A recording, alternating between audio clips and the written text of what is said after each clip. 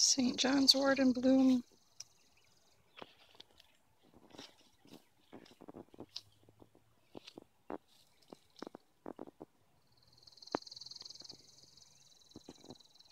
Pink yarrow.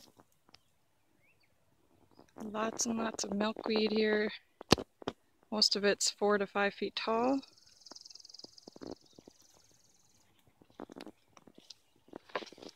Here is lady's mantle in flower.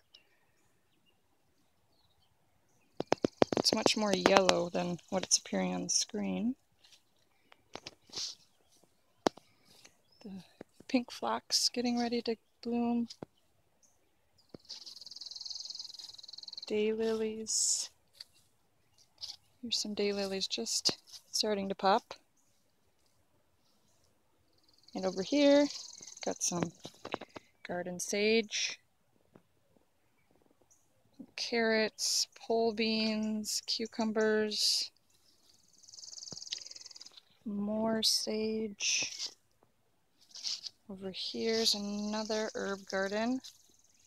We have Solomon seal,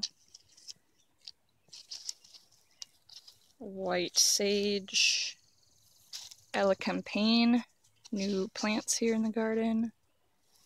And here's big old comfrey. There's comfrey already done blooming, cut back already. And what else do we have over here? Here is some valerian, all done for the season. See the old leaves, flowers turning into seeds. Lots of black raspberry here. And an anise hyssop that's been affected by four-line plant bug. Just, oh, there they are. Do you see them?